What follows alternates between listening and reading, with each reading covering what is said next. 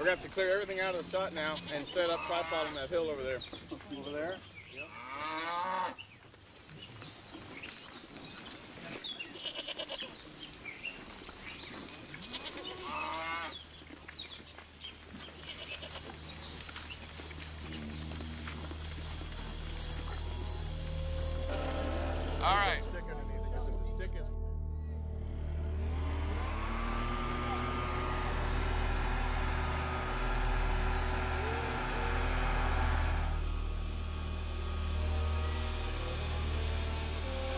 Hold on.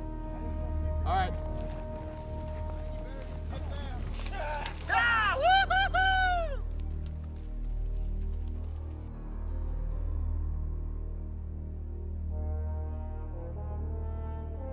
It goes off.